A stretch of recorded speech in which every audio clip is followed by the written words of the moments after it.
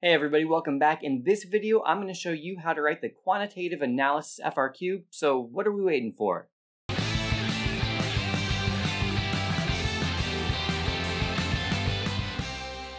Alright, now that you know how to write the concept application FRQ, it's time to turn our attention to FRQ number 2, the quantitative analysis.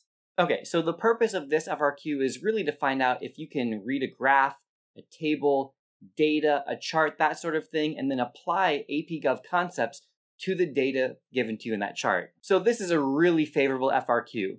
Reading charts, maps, cartoons, that kind of thing, this is a skill that you can practice and build so you'll feel really confident on test day. Let's take a look at the 2019 Quantitative Analysis FRQ.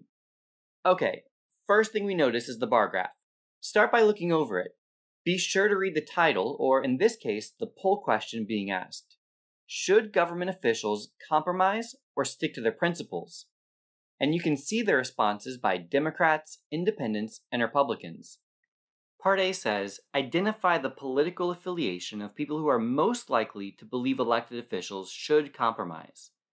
It only takes one sentence to respond to an identify prompt, and the great thing about it is that it counts just as much as it describes and explains, even though those are tougher. But this is a pretty easy prompt, right? You gotta be feeling better about these FRQs already. Here's a sample correct answer for A. It's really that easy. In fact, I don't even have a sample of a wrong answer to show you for this one. Man, I love identifies.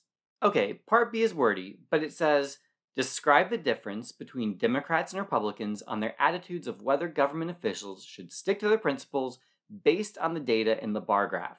Remember that when you describe something, you need to include details. In this particular case, there's really not much for you to say. You just need to make sure you address both the attitudes of Democrats and Republicans.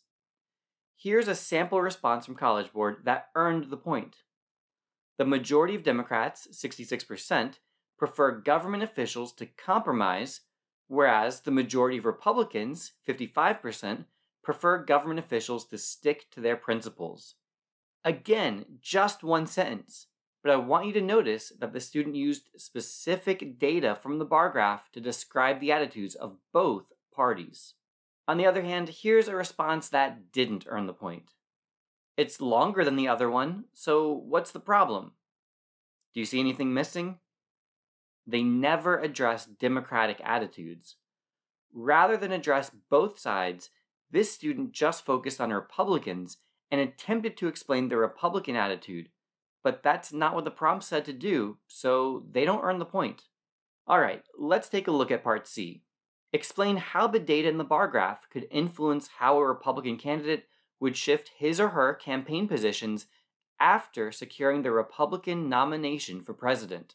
Remember, when explaining, you need to elaborate to provide evidence Use the word because to make relationships clear. Let's look at a response that earned this point. Without even reading it, you can see that the student elaborated. This looks like what an explain response should look like. The first sentence, she gives her basic answer that after winning the nomination, the Republican candidate should be willing to compromise. That alone doesn't earn the point, though. She continues on and elaborates explaining how and why that's the right answer. It's because they could appeal to Democrats and independents who prefer compromise, and this might help them win the election. And finally, Part D explain how the data in the bar graph could affect policymaking interactions between the president and Congress. So you have to make a connection between that data in the graph and how that could affect congressional and presidential interactions. I'm going to share two sample responses and I want you to pause the video, read them both, and pick out which one earned the point and which one didn't. Okay, pause it if you haven't already. I'm going to reveal the answers. The first one doesn't earn the point because it's not on topic. The data tells us the attitudes of different partisan groups regarding compromise, but the student wrote about approval ratings and a president's popularity. The stuff they said is basically correct, but not relevant to the prompt, which was not about popularity and approval ratings. The second response earns the point and is a good example of what an explain response should look like. They successfully highlight the results of Congress and the president compromising, as well as the results if they stick to their principles. So they link the data to the prompt about policy making. Alright, that's it for this video. Stick with me and I'll walk you through the other FRQs and get you ready to write these things like a champ. Until next time, this has been a LaManna production.